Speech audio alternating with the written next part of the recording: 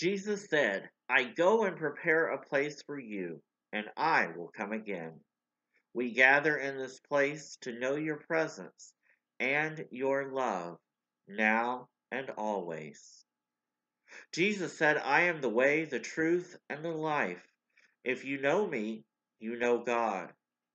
We pray to know you more deeply, that we may know God more intimately, now and always. Jesus said, Ask me for anything, and I will do this. Help us to ask the right things, Lord Jesus Christ, that we may fulfill your will now and always. Jesus said, Believe in me and follow me. Help us to worship and fully believing and following now and always. Amen.